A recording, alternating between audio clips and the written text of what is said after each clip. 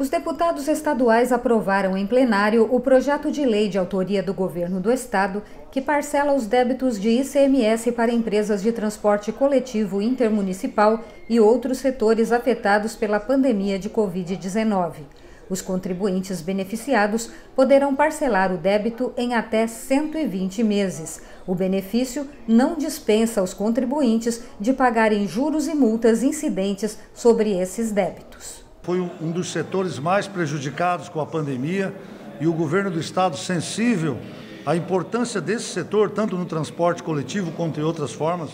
cria um projeto para que eles possam se recuperar na questão fiscal, financeiramente, para que continue prestando serviço para a sociedade. Acho que é um avanço, projeto que está sendo aprovado hoje e que vai dar condições